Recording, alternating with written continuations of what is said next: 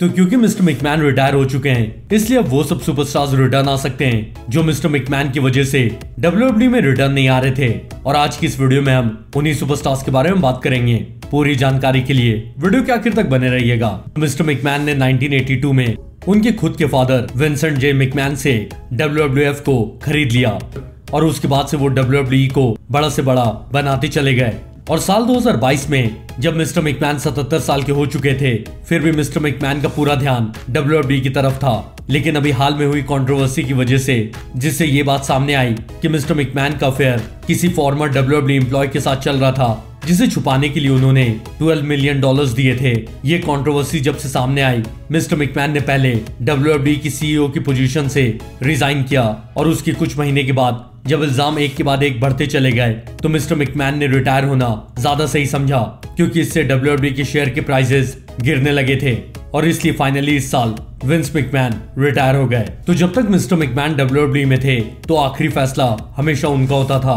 और डब्ल्यू की सारी स्टोरी लाइन्स भी ज़्यादातर हमेशा उनके देख रेख में ही होती थी। लेकिन अब डब्ल्यू का क्रिएटिव कंट्रोल विंस मैकमैन के दामाद, यानी कि ट्रिपल एच के पास चला गया है। और इसलिए अब वो सब सुपरस्टार्स रिटर्न आ सकते हैं, जिनकी मिस्टर मिकमैन से नहीं बनती थी। और वो मिस्टर मिकमैन की वजह से डब्ल्यू में रिटर्न नहीं आना चाहते थे।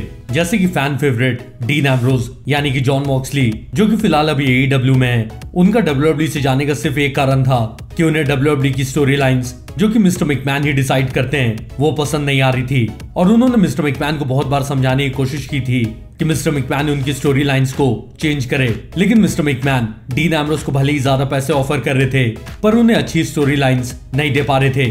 और इसी रीजन से डीन एमरोज डब्ल्यू से चले गए थे।